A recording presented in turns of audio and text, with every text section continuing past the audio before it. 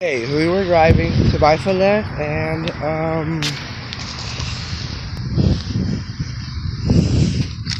Oh Look it's, Lefty. so we get in or no? No. No? No. Dude, that is kinda creepy. Dude, I don't even know. I thought it That is creepy. I thought it was like more clean, but it's more the, dirty. The way it was sitting, I mean, the way it was looking at it was creepy. I didn't even see it that closely, but it was like with its eyes kind of wonky and it's broken. But for again, I thought it was like more clean. I, just, I don't know. It looked, it looked creepy. I kind of wish I put it back in the sitting down position. What do you think of it, Eli? Oh my god.